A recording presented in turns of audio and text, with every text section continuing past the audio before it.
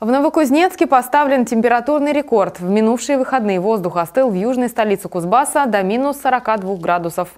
А в Междуреченске было 47 мороза. Поделились информацией жители Усинского.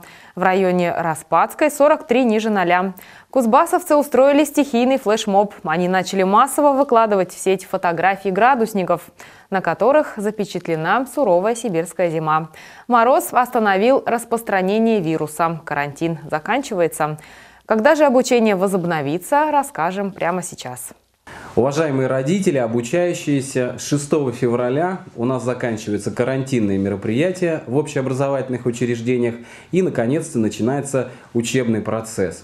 А, поэтому 6 числа все образовательные учреждения города в плановом режиме приступают к своим основным обязанностям. Это обучение школьников в наших образовательных учреждениях.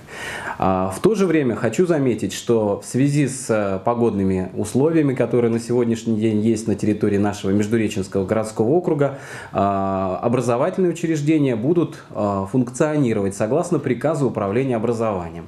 А именно учащиеся начального звена при э, наступлении температуры от минус 27 э, и ниже имеют право не посещать образовательную организацию. Обучающиеся среднего звена, это 5, 6, 7 классы, при наступлении температуры минус 32. Э, обучающиеся 8 э, классов э, могут не посещать об, образовательное учреждение при минус 34. И, соответственно, обучающиеся старших классов, это 9-11 классы, при наступлении наступлении температуры минус 36 также могут не посещать образовательные организации. Но в то же время хочу отметить, что сохраняется дистанционный режим обучения. И как только у нас температура немножечко повысится, я думаю, все войдет в свой вот обычный и плановый режим. Потому что сегодня необходимо готовиться и к государственной итоговой аттестации, и к проведению всероссийских проверочных работ, и к собеседованию по русскому языку, и к другим формам аттестации, которые у нас предусмотрены и учебным планом, и федеральными государственными образовательными стандартами.